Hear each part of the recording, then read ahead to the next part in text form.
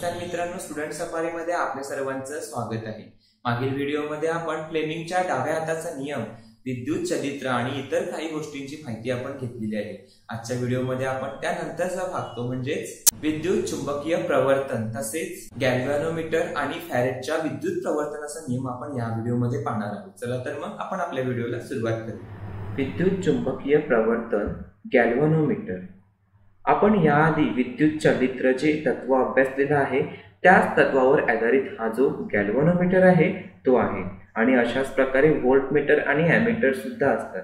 यामध्ये काय होते? तर ज्या वेळेला कुंडलातून विद्युतधारेचे प्रवाहित होते किंवा हे जे या ठिकाणी पॉईंट दिलेले आहेत पॉझिटिव्ह आणि निगेटिव्ह ह्यामधून जेव्हा विद्युतधारा प्रवाहित होते त्यावेळेला काय होते? तर विद्युतधारा कोणत्या दिशेला आहे?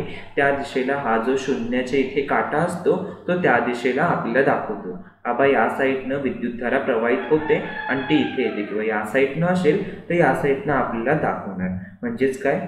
विद्युतधारेच्या दिशेनुसार हा जो शून्याचा काठा आहे तो दोन्ही बाजूंकडे विचलित होतो.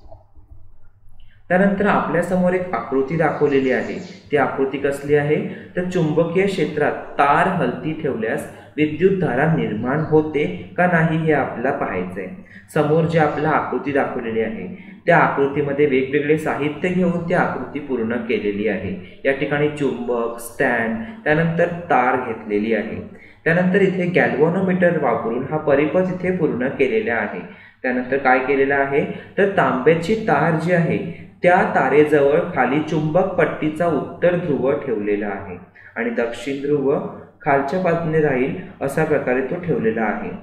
जर आता तार ए बी ही काय आहे? तार अशी हलती ठेवली. ए पासून बी पर्यंत ती व्हायब्रेट होते किंवा मूव्ह होत राहते. म्हणजे हलत राहते अशी जर ठेवली आपण तर गॅल्वोनोमीटरचा जो काटा आहे तो आपला विचलित झालेला दिसेल. इथे आपल्या या आकृतीमध्ये आधीच विचलित झालेला दिसतो. म्हणजेच काय? तर या ठिकाणी चुंबकीय क्षेत्रामध्ये विद्युत धारा निर्माण होत आहे असं या ठिकाणी दाखवलेलं आहे. त्यानंतर आपल्याला काय म्हटलेलं आहे? तर ही जी तार आहे ही तार विचलित न करता म्हणजे व्हायब्रेट न करता सरळ स्थिर होऊन या ठिकाणी विद्युतधारा जाते का नाही? किंवा हा जो काटा आहे हा स्थिर राहतो का इथे तिथे? त्याचं मुवमेंट होते म्हणजे हलतो का नाही? विचलित होतो का हे आपल्याला पाहण्यास सांगितलेलं आहे. ते तुम्ही स्वतः प्रयोग करून पाहू शकता. आता आपल्याला पुढे आणखी अ ब आणि क अशा तीन आकृत्या दिलेल्या आहेत. त्यामधील अ आकृती पाहूया आपण. कुंतलातून विद्युतधारा प्रवाहित अथवा खंडित केल्यास. आता आपल्यासमोर ज्याप्रमाणे आपल्या आकृतीत कुंतल दाखवलेलं आहे तसं आपण कुंतल केल्यानंतर म्हणजे तारेचं कुंतल घ्यायचं आहे. प्लग कळ घ्यायचा आणि बॅटरी घ्यायची. त्यानंतर बाजूला गॅल्वॉनोमीटर आणि तारेचे कुंडल एक घ्यायचं आहे. आता ही जी बॅटरी आहे ह्या बॅटरीमधून जर आपण विद्युतधारा बंद केला तर हा गॅल्वनोमीटरवर जो काटा असतो तर एका बाजूला पटकन होऊन तो शून्यावर येऊन थांबणार. पुन्हा जेव्हा आपण विद्युतधारा सुरू करणार तेव्हा तो काटा दुसऱ्या बाजूला येणार आणि पुन्हा शून्यावर येऊन थांबणार. म्हणजेच काय होते? तर गॅल्वनोमीटरचा काटा हा इथे विचलित होताना आपल्याला दिसतो ज्या वेळेला विद्युतधारा प्रवाहित होते आणि थांबते त्यावेळेला.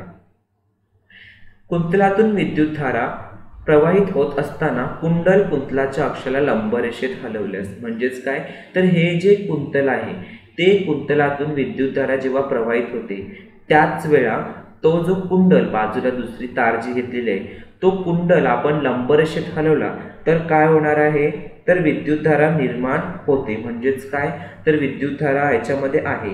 दूर दूर किंवा जवळ आपण हा जो कुंतल हा जो कुंडल आहे तो कुंतलाच्या जवळ दूर नेला तर त्यावेळेला कुंडलात विद्युतधारा निर्माण होते. हे आपल्याला ब आणि क या आकृतीमध्ये दिसेल. ब आकृतीमध्ये काय आहे? तर अक्षाला लंबरेषेत हलवल्यास आणि क मध्ये काय दिलेलं आहे? कुंतलापासून जवळ आणि दूर केल्यास. पण दोन्हीमध्ये आपल्याला आपल्याला विद्युतधारा निर्माण होताना दिसेल. हे प्रयोग जे आहेत हे आपल्याला सूर हे प्रयोग जे आहेत हे आपल्याला ऑनलाईन कोणतेही तुम्ही व्हिडिओ सर्च करून तुम्ही पाहू शकता. ॲनिमेशनद्वारे ते तुम्हाला व्हिडिओमध्ये दाखवलेलं असेल. त्यानंतर आहे फॅरेडेचा विद्युत प्रवर्तनाचा नियम. कुंतलातून विद्युतधारा चालू करताच किंवा बंद करताच कुंडलात विद्युतधारा प्रवाहित होते. विद्युतधारा कमी अधिक केल्यासही असे प्रवर्तन दिसून येते. कुंतल कुंडलासमोरून बाजूला सरकवितानाही कुंडलात विद्युतधारा प्रवर्तनाने निर्माण होते. म्हणजेच काय? तर ज्या वेळेला आपण कुंतल म्हणजे जे आपण तारेचे वेटोळ केलेलं आहे त्यातून जेव्हा आपण विद्युतधारा चालू करतो किंवा बंद करतो त्यावेळेला काय होते? कुंडलात विद्युतधारा प्रवाहित होते. म्हणजे काय? कुंडलातून विद्युतधारा वाहते. विद्युतधारा कमी अधिक केल्यास ते प्रवर्तन आपल्याला दिसून येते. कुंडल कुंडलातून बाजूला सरकवतानाही त्या कुंडलात विद्युतधारा निर्माण होते. म्हणजेच काय? तर ज्या वेळेला आपण तो कुंतल आहे तो जेव्हा कुंडलापासून म्हणजेच काय? तर कुंतल जो होल्टमीटरला किंवा गॅल्वानोमीटर जो आहे त्याला लावलेला असेल त्यापासून आपण जो कुंतल आहे तो आपण जर लांब केला तर आपल्याला त्यापासून काय मिळणार आहे?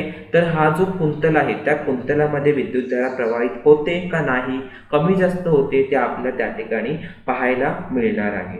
म्हणजे याच्यावरून काय आपल्या लक्षात येते की हे जे प्रयोग आहेत हे सर्व प्रयोग ह्या प्रयोगावरून काय समजते आपल्याला? तर कुंडलातून जाणाऱ्या चुंबकीय बलरेषांच्या संख्येत बदल झाला. म्हणजेच काय? तर आपण ज्या वेळेला हे जे तारेचे कुंडल आणि तारेचे कुंडल एकमेकांचं लांब करतो किंवा त्यांच्यामध्ये काही ना काही आपण हालचाल करतो त्यावेळेला काय होते? कुंडलामध्ये विद्युतधारा प्रवर्तित होते आणि ह्यालाच आपण फॅरेडाच्या प्रवर्तनाचा नियम असे म्हणतात. म्हणजेच काय? तर कुंडलामध्ये निर्माण झालेल्या विद्युतधारेला प्रवर्तित विद्युतधारा असे आपण म्हणतो. धन्यवाद मित्रांनो. व्हिडिओ पूर्ण पाहिल्याबद्दल.